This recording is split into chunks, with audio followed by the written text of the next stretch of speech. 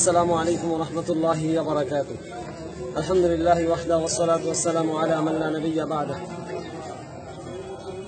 আলহামদুলিল্লাহ আল্লাহ সুবাহ তালার কাছে অসংখ্য শুক্রিয়া আল্লাহ সুবাহ তালা দিনী দাওয়াতি কাজে আমাদের আজকের এই আহ, সফরকে আল্লাহ সুবাহ তালা সফলভাবে সম্পন্ন করার তৌফিক দান করেছেন আলহামদুলিল্লাহ আপনারা সারা দেশ থেকে অধীর আগ্রহে অপেক্ষা করছিলেন এবং আপনারা জানেন আজকে একত্রিশে মে দু হাজার আঠেরো তারিখে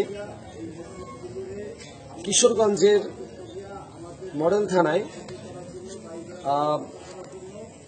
কিশোরগঞ্জের একটি মসজিদকে কেন্দ্র করে স্বল্পমারিয়া এলাকায় মসজিদে তাকোয়া নামে একটি মসজিদ ভেঙে ফেলার হুমকি দেয়া এবং তৎসংশ্লিষ্ট বিভিন্ন বিষয় নিয়ে উত্তেজনার প্রেক্ষাপটে কিশোরগঞ্জ মডেল থানায় ওসির আমন্ত্রণে বাংলাদেশের হানাফি ওলামা ইকরাম এবং আহলে- হাদিস ওলামা ইকরাম তাদেরকে একত্রিত করা হয়েছিল।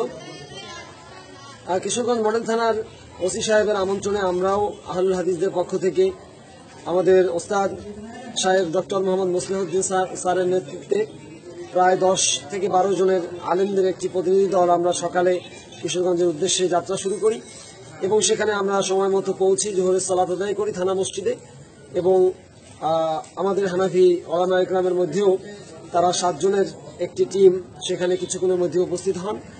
আমাদের আহলুল হাদিস ওলামা ইকরামের মধ্যে যারা উপস্থিত ছিলেন, তাদের মধ্যে টিম লিডার হিসাবে ছিলেন ডক্টর মোহাম্মদ মুসলিহউদ্দিন শেখ মুফতি মোহাম্মদ মনিরুদ্দিন, শেখ মোহাম্মদ হারুন হুসাইন, ডক্টর মোহাম্মদ আবু তাহের, পাঁচ নম্বরে শেখ আব্দুল রাজ্জাক সালাফি, ছয় শেখ আবদুল্লাহ শাহেদ মাদানি, সাত শাহাদত হুসাইন খান ফয়সাল। এছাড়াও ছিলেন শেখ আনিসুর রহমান মাদানি শেখ মুস্তাফিজুর রহমান শেখ জাহাঙ্গীর আলম ইসলাহি। এছাড়াও আরও কয়েকজন ছিলেন, আমরা সবার নাম এখানে বলতে পারছি না। সময় সংক্ষিপ্ততার কারণে। এরপরে হানাফি ওলামা একরামের পক্ষ থেকে বিশেষ করে কিশোরগঞ্জের ঐতিহাসিক শহীদ মসজিদের খতিব এবং আল জামিয়াতুল ইমদাদিয়া কিশোরগঞ্জের মোহতামিম মহাপরিচালক হজরত মৌলানা আজহার আলী আনোহার শাহ সাহেবের সার্বিক তত্ত্বাবধানে সাতজন আলোচক উপস্থিত থাকার জন্য তালিকা থানায় জমা দিয়েছেন। সেই সাতজনের নাম আমি শুধুমাত্র একটু পড়ে শোনাচ্ছি। এক, হজরত মাওলানা মুফতি লুৎফুর রহমান ফারাইজি সাহেব। দুই, হজরত মাওলানা মুফতি মোহাম্মদ শামসুদ্দোহা সাহেব। তিন, হজরত মাওলানা সোহাইব আব্দুর রৌফ সাহেব। চার, হজরত মাওলানা মুফতি শামীম ওসমান সাহেব। পাঁচ, হজরত মাওলানা মুফতি সোহাইল আহমদ সাহেব। ছয় হজরত মাওলানা মুফতি সাইয়দ মোহাম্মদ সিরাজুল হুদা সাহেব এবং সাত মাওলানা মুফতি আব্দুর রহিম সাহেব। আহ, ওনারাও উপস্থিত ছিলেন। আমরা উপস্থিত হওয়ার পরে দুপুর নাগাদ থানার যিনি তদন্ত ইনচার্জ ছিলেন ওসি তিনি আমাদেরকে বললেন সবাইকে বললেন যে আজকে মূল যিনি ওসি দায়িত্বশীল তিনি না থাকায় এবং সার্বিক পরিস্থিতি উত্তেজনাকর হওয়ায় এবং বিভিন্ন কারণে বিভিন্ন প্রেক্ষাপটে আজকের যে বাহাস হওয়ার কথা ছিল আলোচনা হওয়ার কথা ছিল, সেটা হবে না। আপনারা সবাই আপনাদের সবার স্থানে চলে যান। এভাবে করে আমরা আমাদেরকে ঘোষণা দেওয়ার পরে বাইরে আমাদের কিছু ভাইয়েরা উত্তেজনা অবস্থায় বিভিন্ন ধরনের স্লোগান দিয়েছেন এবং অনেক কয়েকশো মানুষ সেখানে ভিড় করেছিলেন। আমরা থানার মধ্যে ছিলাম অনেকক্ষণ। তারপরে আল্লাহ সুবাহ আমাদের জন্য সহজ করে দিয়েছেন। আমাদের পুলিশ প্রশাসনের সাথে, তদন্তে যিনি থানায় ছিলেন, তার সাথে আমরা কথা বলেছি মুসলিম নেতৃত্বে।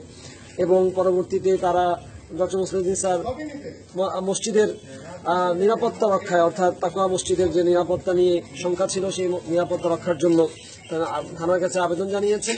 খেয়াল রাখার জন্য বলেছেন তারা আশ্বাস দিয়েছেন যে খেয়াল রাখবেন, ইনশাআল্লাহ নিয়ে কোনো সমস্যা হবে না।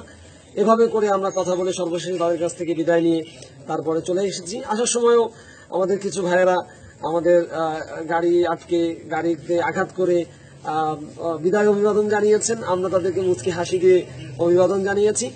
আমরা আসলে মূলত ঐক্যের বাণী নিয়েই সেখানে গিয়েছিলাম। আমাদের ওস্তাদ ডক্টর মসরুদ্দিন স্যার ওখানে যাওয়ার পরেও কয়েকজনের সাথে প্রাথমিক কথা হয়েছে যে সাতজন হানাফি ওলামা ইকরামের নাম বললাম। তাদের কয়েকজনের সাথে ব্যক্তিগত কথায়ও তিনি বলেছেন যে আমরা ঐক্যের কথা নিয়ে এসেছি। আসলে আমরা এই বিষয়গুলো নিয়ে মারামারি কাটাকাটি ফিতনা, ফাসাদ, একে অপরের প্রতি গালিগালাজ এগুলো কখনোই আমরা করব না করতে চাই না। আল্লাহ ওয়া তাআলা যেন আমাদের মধ্যে নির্মহাব্বত তৈরি করে দেন এবং আমরা সবাই দোয়া করি আল্লাহ ওয়া তাআলা যেন আমাদের তাওহীদ এবং সুন্নাহর পক্ষে সবাইকে ঐক্যবদ্ধ করে দেন। যেখানে খ্রিস্টান ইহুদিরা আমাদের বিপক্ষে কাজ করে যাচ্ছে সারা দেশে সারা দুনিয়ায়। সেখানে আমরা যদি মুসলিম ভাইয়েরা এভাবে ভ্রাতৃঘাতী দ্বন্দ্বে লিপ্ত হই তাহলে পরে আমরা বেশি দূর আগাতে পারব না। সার্বিকভাবে আমরা মোটামুটি এই বিষয়গুলো নিয়ে অনেকের সাথে কথা বলেছি, কিন্তু সার্বিকভাবে কোনো বাহাস সেখানে অনুষ্ঠিত হয়নি এবং নির্দিষ্ট কোনো ডেটও পরবর্তীতে দেওয়া হয়নি। আপাতত ওইভাবেই আমাদেরকে সবাইকে স্থগিত করা হয়েছে, এভাবেই বিদায় দেওয়া হয়েছে। আমরা এই নিয়ে যেন কোনো ধরনের ভাইরাল কোনো ধরনের মিথ্যাচার কোনো ধরনের অপপ্রচার আমরা না করি। উভয় পক্ষ প্রতি আমরা অনুরোধ জানাচ্ছি আল্লাহ তাআলা আমাদের সবাইকে তাওহীদ এবং সুন্নাহর পক্ষে ঐক্যবদ্ধ হওয়ার তৌফিক দান করুন। আমিন। বারিক বিশেষভাবে একটা বিষয় না বললেই না আমাদের আহলুল হাদিস ওলামা ইকরামের মধ্যে এখানে বাংলাদেশ জমিয়তে আহলে হাদিসের আহ, এবং বাংলাদেশ আহলে হাদিস আন্দোলনের বাংলাদেশ আহলে হাদিস জামায়াতের আহলে হাদিস তাবলিগ ইসলামের চারটি মূল সংগঠনের আহ, শীর্ষস্থানীয় নেতৃবৃন্দ আজকের এই কিশোরগঞ্জের বাহাস উপলক্ষে আমরা একত্রিত হয়েছিলাম। আমি তাদের নামগুলো আপনাদের একটু আগে পড়ে শুনিয়েছি। আহ, আহলুল হাদিসরাও আলহামদুলিল্লাহ ঐক্যবদ্ধভাবে কোরআন এবং সুন্নার যেখানে বাধা আসে কোরআন এবং সুন্না মানার ক্ষেত্রে সেখানে তারা ঐক্যবদ্ধভাবে অংশগ্রহণ করেন এবং মুসলিম উম্মার ঐক্যের জন্য কাজ করে অতীতেও গিয়েছেন বর্তমানেও যাচ্ছেন ভবিষ্যতেও যাবেন। আল্লাহ তাআলা আমাদের সবাইকে তাওহীদ এবং সুন্নার পতাকা দলে ঐক্যবদ্ধ হয়ে কোরআন এবং সুন্নাকে মূলনীতি হিসাবে গ্রহণ করে। সার্বিক জীবন পরিচালনা করার তৌফিক দান করুন। আমিন। আকুলু হাযা আস্তাগফিরুল্লাহ লি ওয়া লাকুম ওয়া লিসাইরিল মুসলিমিন। ইন্নাহু হুয়াত তাওয়াবুর রহিম। আসসালামু আলাইকুম ওয়া রাহমাতুল্লাহি ওয়া বারাকাতুহু।